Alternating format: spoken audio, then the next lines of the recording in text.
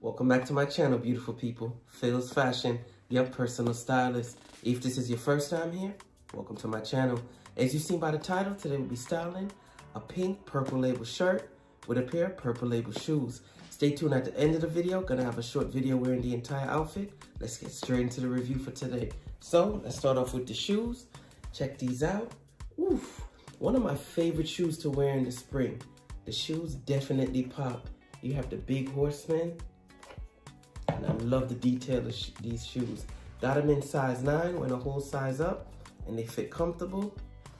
Leather line. Made in Italy. Overall, definitely a very stylish shoe. So, check out the shirt I'll be throwing it on with. Got a nice pink purple label sh shirt. Check out the detail. Pink definitely pops in the spring. You have the big horseman. And you have, these are the tags, made in Italy. And the fit that I got is tailored fit, which it fits perfectly. The materials, 100% cotton. Overall, check out the detail. The back is plain. And with purple label, you always get that beautiful touch. Mother of pearl buttons. Definitely a nice touch. Let me show you with the shoes. Check it out.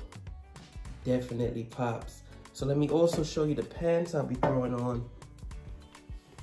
Throwing on a nice tan pair of chinos. These are Perry Ellis Slim Fit.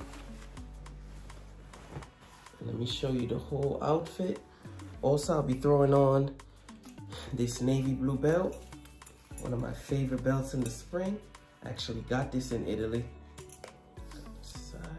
Check out the styling of it. Very well made belt. Let me show you the shirt with the shoes. Check it out. I think it definitely matches up perfectly. So I would love to hear your opinion in the comment section, what you think about the outfit. If this is your first time here, thumbs up, subscribe, hit that notification bell. I'm bringing a lot of beautiful content you don't want to miss.